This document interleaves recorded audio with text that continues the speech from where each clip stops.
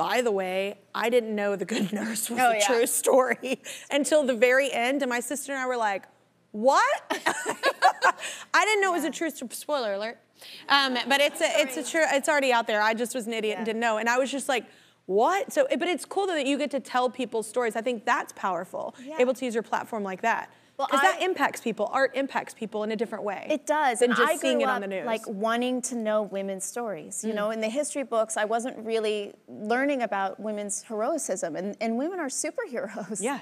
And so, learning about all these true stories of these incredible women, and especially Amy Loughren, I love to be able to use my profession to go, oh, hey, you guys, you know, I know there's all these other superheroes out there, but look at this woman right here. And we could all be like that, and we could all be inspired by her. No, literally, it blew my mind when I found out it was real. At the end, I didn't know.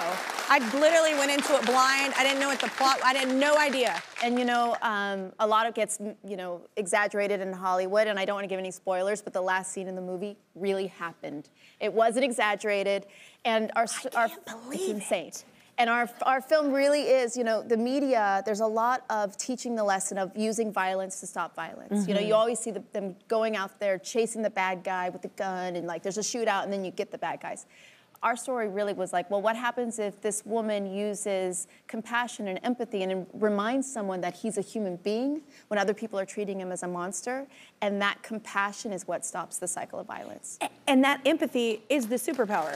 Exactly. Yeah, being empathetic is Exactly. the superpower. So many messages there for all of us to learn, obviously. But you two are incredible. I mean, I love you separately, but like, it was like, it was like a master class in acting. Like even what your character is going through physically, like while Yeah. having this whole story happen and her family and and being a single mom, it was just a lot. Yeah. And I just I found it in, incredible. Yeah, so Amy's a single mom with two daughters, and I mean, this is all true story. She had suffered from cardiomyopathy, which means she needed a heart transplant.